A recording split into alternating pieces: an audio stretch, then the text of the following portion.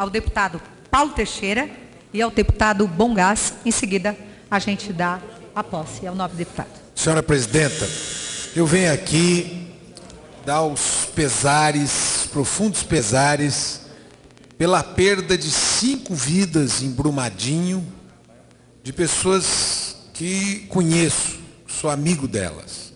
Um casal, Helena Taliberti e o marido, Wagner, perderam dois filhos, uma nora, e perderam também dois parentes ali em Brumadinho. Os filhos chamam-se Camila Taliberti Ribeiro da Silva, o filho Luiz Taliberti Ribeiro da Silva, a nora Fernanda Damian.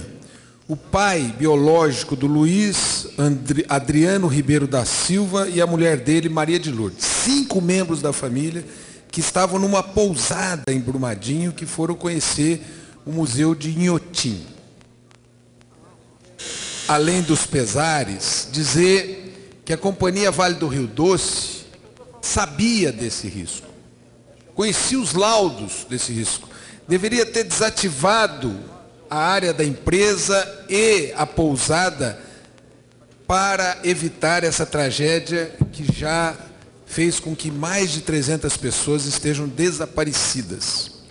Senhora Presidente, acho que esta casa tem que cobrar algumas providências. A primeira delas é a demissão do presidente da Vale. A segunda delas é a responsabilização civil e criminal da Vale do Rio Doce. A terceira delas é a indenização às famílias. E a quarta, a recuperação dos danos ambientais. Portanto, eu quero, para concluir, aqui desta tribuna, me solidarizar com todas as famílias que perderam seus membros lá os meus profundos pesares a essa família do Wagner e da Helena e a todos da sua família.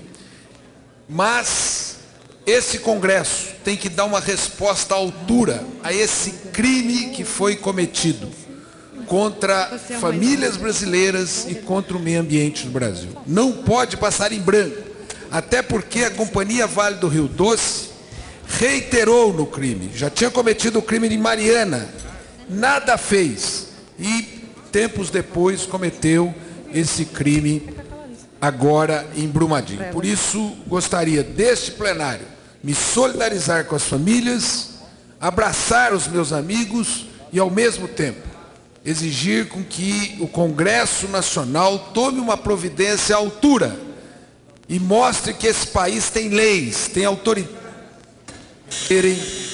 para concluir. Cumpridas e obedecidas para que isso nunca mais aconteça.